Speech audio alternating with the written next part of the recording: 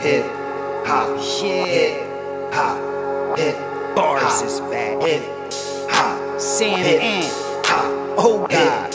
hop, What's hip up with you? Yes. Hip hop uncensored is the vibe, so subscribe. Hip hop uncensored is the vibe, so subscribe. Oh God, driving Sam and riding passenger side, and you heard it out the mouth of the greatest rapper alive. Hip hop uncensored is the vibe, so subscribe. Hip hop uncensored is the vibe, so subscribe. Oh God, driving Sam and riding passenger side, and you heard it out the mouth of the greatest rapper alive. Go.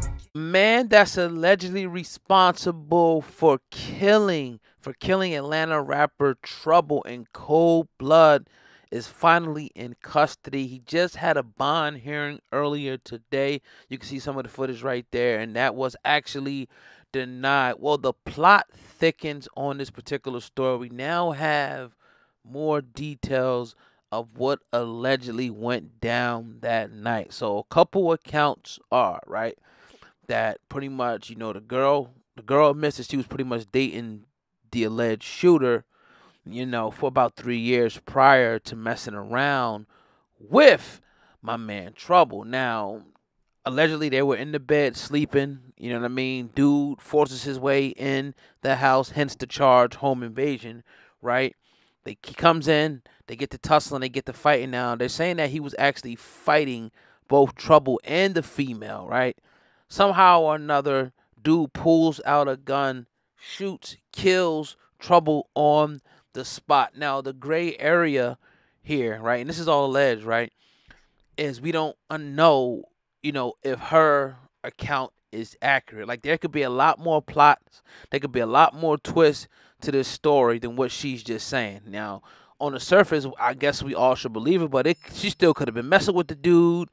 It could be a lot of things, you know what I mean? It, I ain't gonna say I'm not gonna put it could have been a setup, but you just know that you know detectives and police are probably gonna look into all pops possible avenues when they're looking into something like this. I mean, you get the story from the person, and then you know we all watch enough TV shows and whatnot and investigative series to say, okay, you get the story. Then you start seeing if the evidence matches up with the story that the particular person is telling you. So we're going to see how this goes. Um, I'm sure she probably spoke with the police already, and that's how the story, you know, leaked out. Um, you know, from what it looks like from us, from the outside looking in, dude was jealous.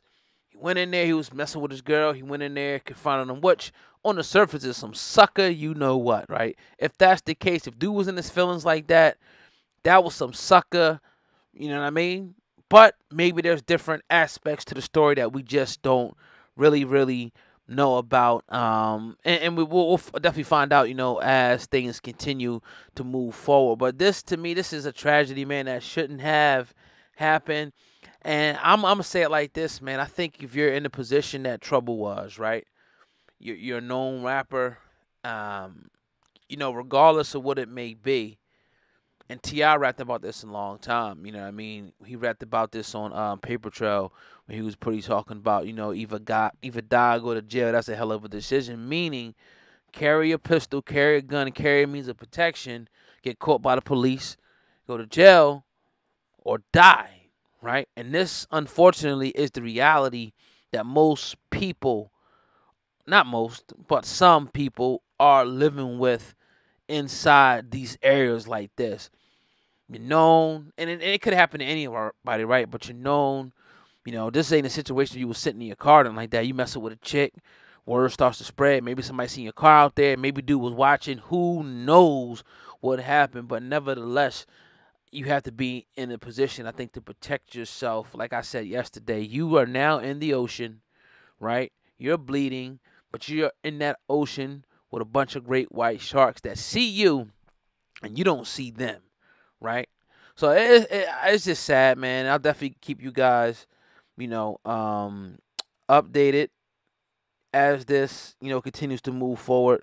And I definitely appreciate you guys listening in.